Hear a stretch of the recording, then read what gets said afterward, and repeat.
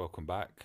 Uh, this is Offense Mods mod farming purely because I've just finally three starred it and so I can sim it and I thought to celebrate I would just stay in Offense Mods. I have a confession to make. I accidentally did a multi sim and got a green, uh, a, yeah, a green um, data bus protection and health. No. Yeah. So the primary was protection, secondary health, potency protection. I'm also replacing some of those purples that I lost. This is just going to be a generic defense because that's what that is. It's never going to, well, I'm not going to say never. Uh, they're greys. Defense, health, defense. They're always, yeah.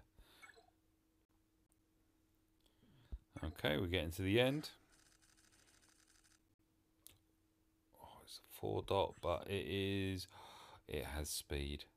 So 16% protection is what that will yield as the primary stat and speed or offense um, will either increase twice or once.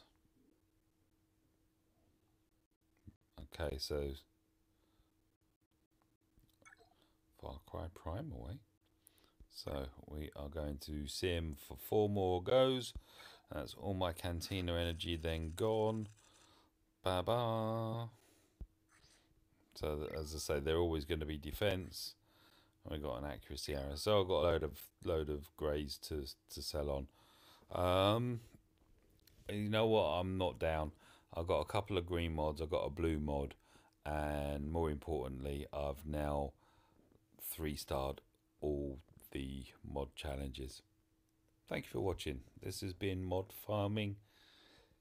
Number wise, I think this is 13. I'm not sure. I'll check. Good night.